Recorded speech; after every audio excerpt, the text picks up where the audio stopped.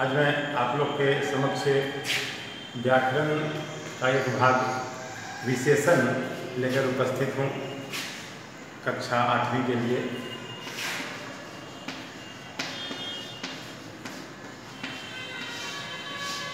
तो सबसे पहले मैं इसकी परिभाषा बता देता हूँ कि विशेषण कहा किसे जाता है। संज्ञा या सर्वनाम की विशेषता बताने वाले शब्द विशेषण कहलाते हैं। विशेषण से दो शब्द और जुड़ा है।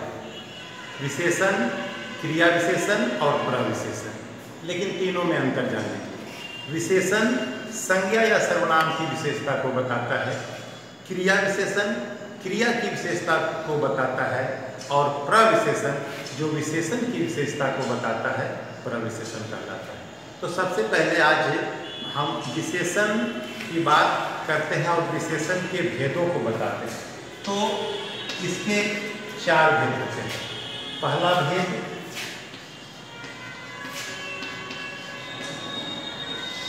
गुणवाचक विशेषण। जब किसी संज्ञा या सर्वनाम की विशेषता गुण, रूप, रंग, धर्म, अवस्था के आधार पर बताया जाता हो, वह कहलाता है गुणवाचक विशेषण। जैसे गाय काली। है काली विशेषण, लड़का लंबा है। लंबा विशेषण, शिक्षक विद्वान है। विद्वान शब्द विशेषण। तो जब किसी वस्तु की विशेषता, किसी संज्ञा या सर्वनाम की विशेषता गुण के आधार पर बताई जाती हो, उसे कहा जाता है गुणवाचक विशेषण। अब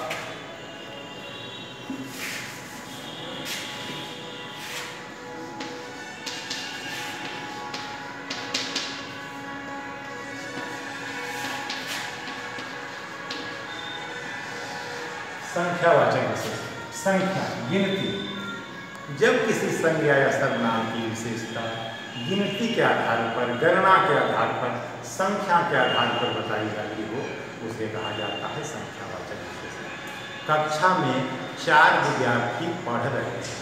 चार शब्द जो हुआ, वह संख्यावाचक विशेषण हुआ। लेकिन इसके भी दो भेद होते हैं। एक निश्चित संख्यावाचक विशेषण और एक अनिश्चित संख्यावाचक विशेषण।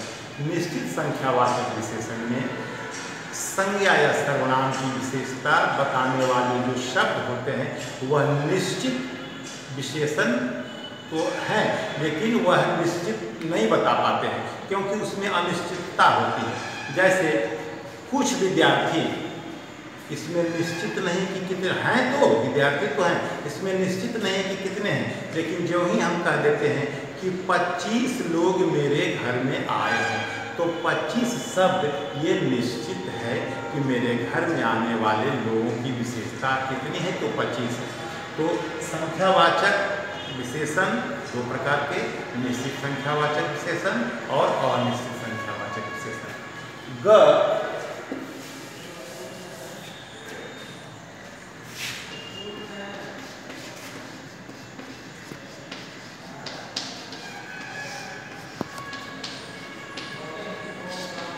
परिमाणवाचक विशेषण जब किसी वस्तु की विशेषता, किसी संज्ञा सर्वनाम की विशेषता मात्रा के आधार पर बताई जाती हो, उसे कहा जाता है परिमाणवाचक विशेषण। परिमाण, मात्रा। हम कहते हैं चार किलो चीनी। जिसे मापा या तोला जाए, हम उसकी विशेषता बताते हैं। मात्रा के आधार गिनती के आधार पर नहीं, मात्रा के आधार पर। जो मात्रा के आधार पर बताई जाती हो, उसे कहा जाता है परिमाणवाचक विशेषण। लेकिन इसमें भी निश्चित परिमाणवाचक विशेषण और अनिश्चित परिमाणवाचक विशेषण। जैसे हम कहते हैं, मुझे कुछ चीनी खरीदनी है। निश्चित परिमाणवाचक नहीं हुआ, अनिश्चित परिमाणवाचक हुआ।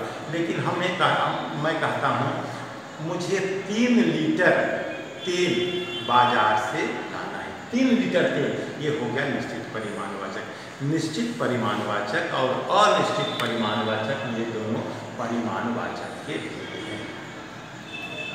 अगला है,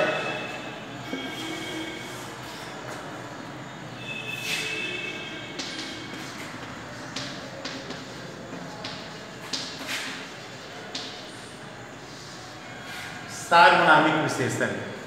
तीन गुणवाचक संख्यावाचक परिमाणवाचक से ये भिन्न।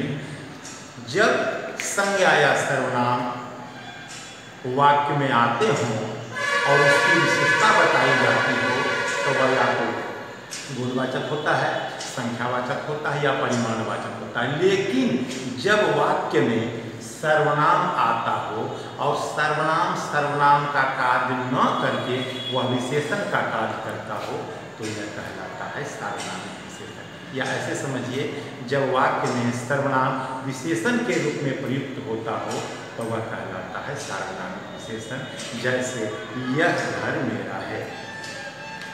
वह घड़ी मेरी है। उसकी विशेषता बताई जा रही है। यह शब्द से उसकी विशेषता बताई जा रही है। संज्ञा या सर्वनाम की विशेषता बताने वाले जो शब्द हैं, वह सर्वनाम है। और सर्वनाम जब विशेषण का कार्य करता हो तो वह कहलाता है सार्वनामिक विशेषण शुद्ध बोलने के लिए, शुद्ध पढ़ने के लिए, शुद्ध लिखने के लिए व्याकरण की आवश्यकता निश्चित है। व्याकरण पर ज़्यादा ध्यान दें। हिंदी तभी शुद्ध आप बोल पाएँगे, तभी शुद्ध लिख पाएँगे, तभी शुद्ध आप पढ़ पाएँगे। अब तो इसके पहले हम बताए थे क्रिया विशेषण। जब ये संज्ञा या सर्वनाम की विशेषता बताने वाले शब्द कहलाते हैं विशेषण, लेकिन जब क्रिया की विशेषता बताई जाती है तो उसे कहा जाता है क्रिया विशेषण। जैसे, शिक्षक ज़ोर ज़ोर से पढ़ा रहे थे। पढ़ाना शब्द है क्रिया, लेकिन उसकी विशेषता बताने वाले जो शब्द ज़ोर ज़ोर से आए हैं, वह कहलाती है, वह कहलाता है क्रिया विशेषण। प्रविशेषण, वह सुंदर है सुंदर शब्द विशेषण है, लेकिन सुंदर शब्द के पहले हमने लगा दिया बहुत, वह बहुत सुंदर है, बहुत शब्द है। प्रविशेषण तीन बातें आज आपने पढ़ा, जाना, सुना, समझा। विशेषण प्रविशेषण और क्रिया विशेषण। इसी के साथ मैं अपनी वाणी को देता हूँ विराम। आप सबों को अवशेष